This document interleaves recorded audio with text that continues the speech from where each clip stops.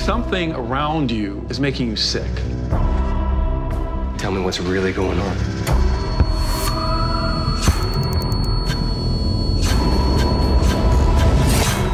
Tell me what the hell's going on! Who are you? I don't know.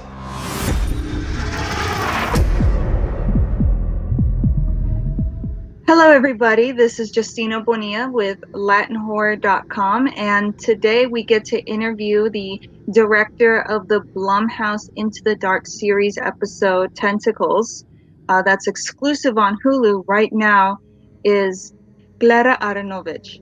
She is joining us here today. Very excited to have her. This is the Valentine's Day episode, so it's going to get very interesting very quickly. How are you doing today, Clara? I'm doing so well. I'm so excited to be talking to you guys today. I just want to say I really enjoyed this episode. I really uh, liked its interpretation of relationships. It it uh, holds no punches, that's for sure. it's a pretty strong indictment on on codependency. Well, considering everything that's happened in 2020, it works. Right? That was kind of one of the things that we thought because we actually began filming before sh- pre shutdown. We shot the first third in March 2020, got shut down due to COVID. Never knew if we were going to come back.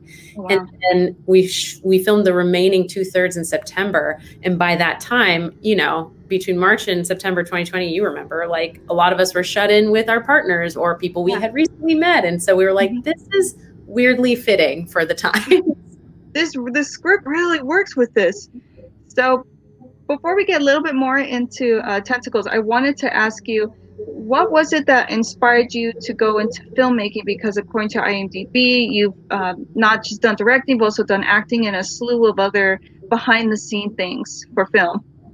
Yeah, well, I was one of those film nerds since a very young age. Um, at around seven years old, I was in my first school play, at which point I was like, this is it for me. And, you know, my dad uh, happens to be a cinephile. My mother's very creatively minded, but she didn't go into the arts. In fact, neither of my parents did because they're immigrants from South America, from Argentina and Chile. My dog is on my lap, just to be fully aware that that's what that is.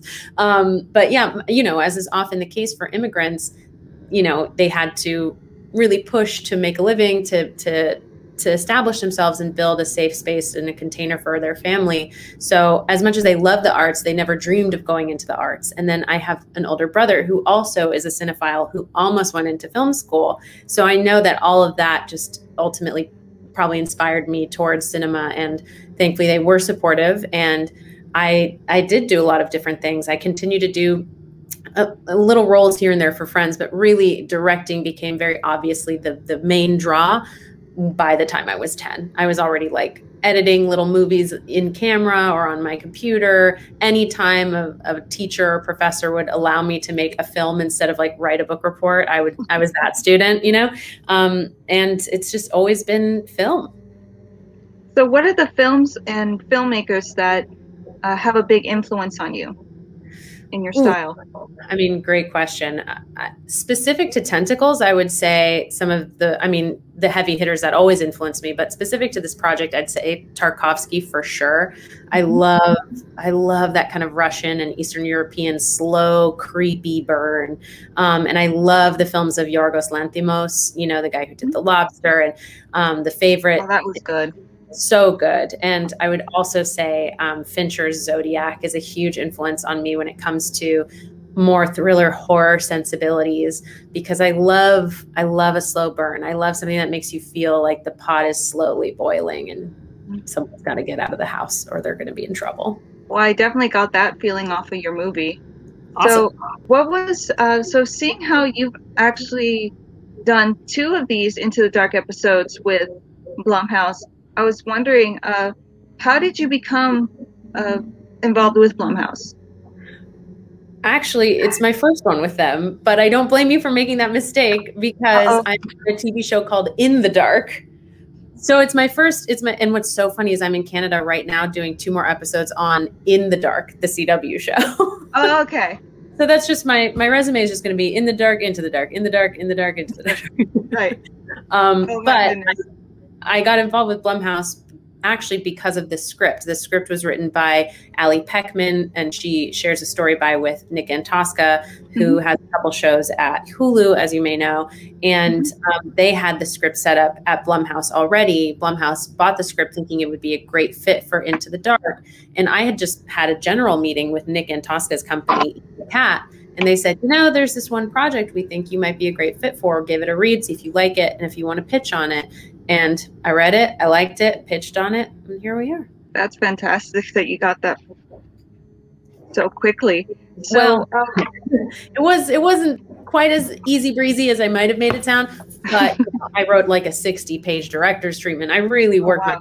my, my, butt off to get the gig, but um, I was so thrilled because it was Blumhouse. You know, I wanted to really bring put my best foot forward because getting an, an open directing assignment is actually extremely challenging. So i knew that i was going to be under a lot of scrutiny as a first time feature director even though i'd had tv right. experience um, and commercial music video experience. They mm-hmm. were going to want to see can i do the job you know? So are you a fan of horror in general? I am. I mean i i love genre. Like i love I love all of cinema. So within each genre, there's always something so delicious to watch as it's kind of evolved because cinema is such a young medium, right? So like we've only really had it around for 120 years or so. Mm-hmm. And so we get to see this rapid growth in each genre. And what I love about horror in particular, and to be clear, I'm like a total scaredy cat. So when I do watch horror, I have to like I'm not one of those people who like our writer can watch like The Shining by herself at night with all the doors and windows open, unlocked. like she she's one of those people. I'm not one of those people. I have to watch The Shining during the day with you know with like a buddy on the phone or someone sitting next to me but i still love it because horror shows us a couple of things. Technically and artistically, it often is pushing the envelope as to what mm-hmm. film can do, right? If you think about special effects, body horror, it's it's actually extremely innovative filmmaking. But then from like a kind of more societal theory perspective, horror cinema shows us what we're afraid of. And right. that's extremely valuable. Like cinema is like a mirror to our society. It shows us what are we romanticizing? What do we what do we find beautiful in the dominant culture? What is the dominant culture? And what's really cool about horror in the past like 5 years, especially thanks to Blumhouse's like Get Out, we're starting to really address some of the deeper seated fears um, that at least we we know are at large in the United States, and that is something that excites me about the genre for sure. And what did you like about the script uh, Tentacles? Was there any one thing or a couple things that popped out to you that said, "Wow, I want to be a part of this"? The title. first first and foremost i mean no joke i love octopuses i've been a cephalopod nerd for many years and I mean, they're like aliens. They really are. They smell with their skin. They can change color and texture. It's crazy what they can do. And I've always wanted to make something that had something to do with them. So that really intrigued me from the start. And I mean, I, I was also, again, really drawn to the fact that it was a Blumhouse production. And I mean, how many production companies can you say are like a household name? Right. Not that many, you know, and Blumhouse is one of those few. Um, but to bring it back to the content of the script, I I love I tend to skew in the things that I write more like sci-fi, but they're always with a very like character base. But at the end of the day, I don't really write um, films like Tentacles myself. And so I was kind of excited to do something that isn't what instinctually comes to me as a writer. And what what was especially appealing was this deep dive into what codependence looks like and how dangerous love can actually be. Fatal attraction with octopuses. Uh, yeah. Yeah. So I noticed in the house uh, when we have the characters Tara renovating it, mm-hmm. that I noticed that there tends to be a color theme throughout the house, like a blue and white. But then, not to give too much away, then you have his room, which is green. So I mm-hmm. was wondering, was that an artistic choice on your end, or was that something already in the script? And if so, what was that a metaphor for? Because I found that very fascinating. Oh, I love that you said that. Um, yes, when in doubt, everything was intentional. I'm, I'm, one of those directors that some department heads find very tedious because I, everything is very specifically chosen. But some department heads, like Eve McCarney, the production designer on Tentacles, who did all of the production design for all the Into the Darks, which is incredible. She's an incredible artist and technician. She loved it. I like when I first get hired on a job, I'm like, let's talk color story, let's talk themes, let's talk about overarching broad arcs for each department so that every department is firing on all cylinders to support the story arc. And for Tara, when she first meets that house, and this is in the first third, so I, I don't think it's a spoiler, you know, like, you know, the one that she ends up renovating, it's super earthy and dingy and wood paneled. And she is obviously, she's this the cause of the title tentacles. She has this oceanic um, quality to her and to her story, and that's why you know we wanted to push towards blues, push towards a coldness, um, which could kind of contrast to their love flourishing. And Sam, you know, his old room being green, it it kind of bridges between the terra blue and the warmth of what the house used to look like, right? The earthiness. It kind of green feels like in between brown and blue to a certain extent. So that was the thinking there. But good catch.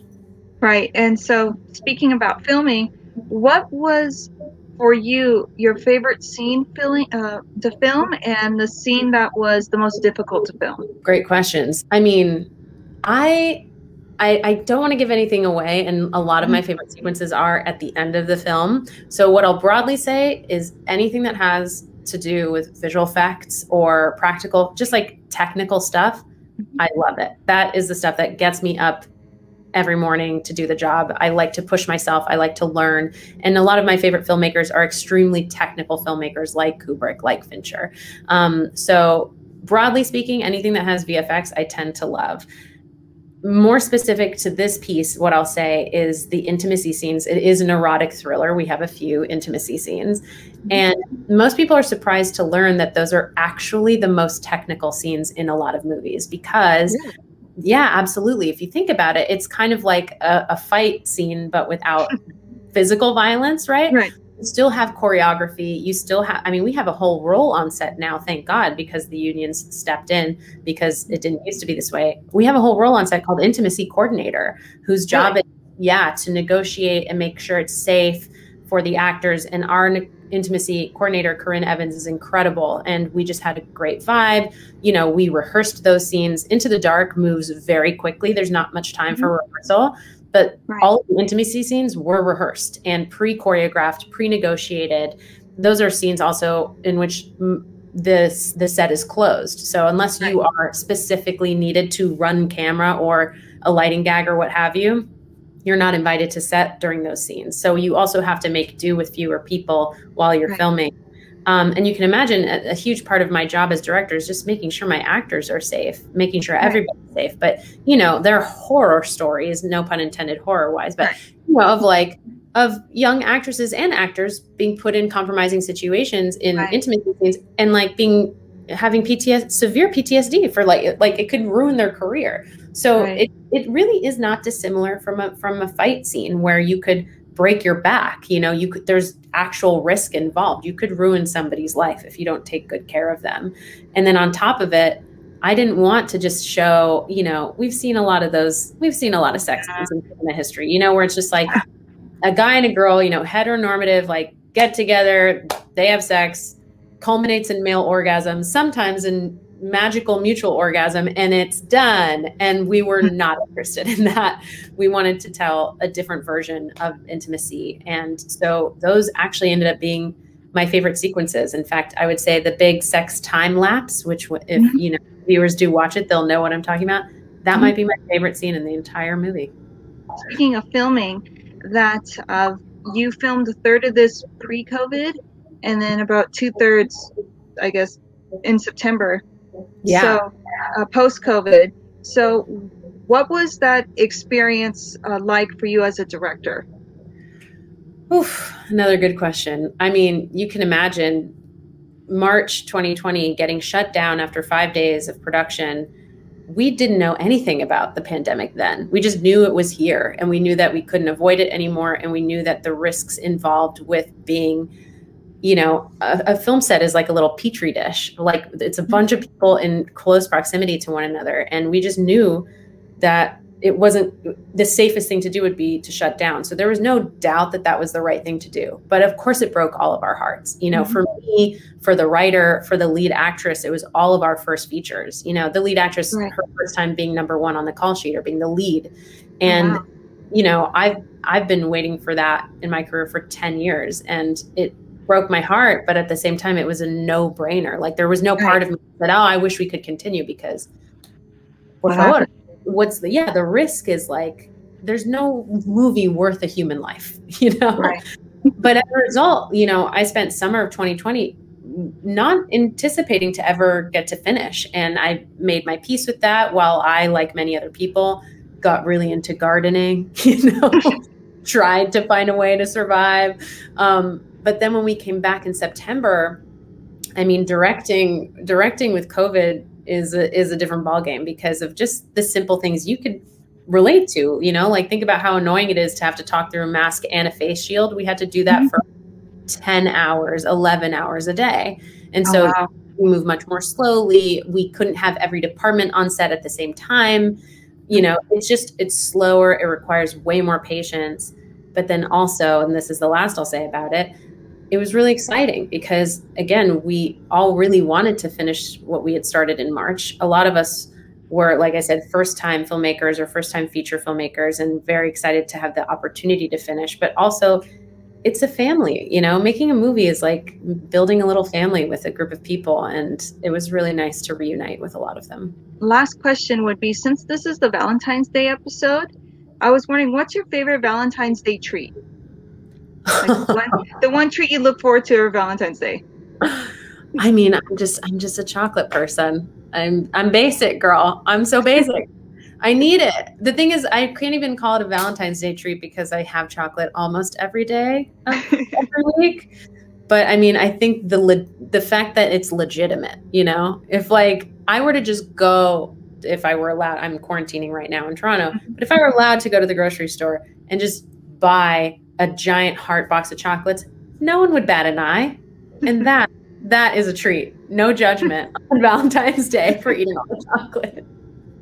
Oh my goodness. Well, uh, Clara, thank you again for joining us. We really uh, appreciate your time. And again, to our viewers, uh, the episode of Tentacles comes out today, I believe, the 12th. Yes, it is freshly out today. Thank you so much for the opportunity to chat about it. And thank you so much for joining us in, as you mentioned, in quarantine during in uh, Toronto. Yes, happily.